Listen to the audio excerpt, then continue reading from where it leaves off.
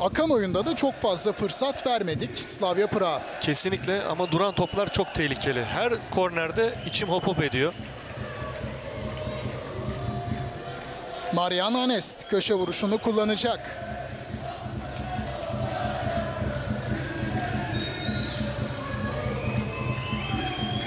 Anest yaptı ortayı, kafa vuruşu top ağlara gidiyor. 76'da eşitliği yakaladı Slavia Prag. Duran toptan maalesef golü kalemizde gördük. Durum 2-1'e geldi. Pozisyon yeniden ekranda.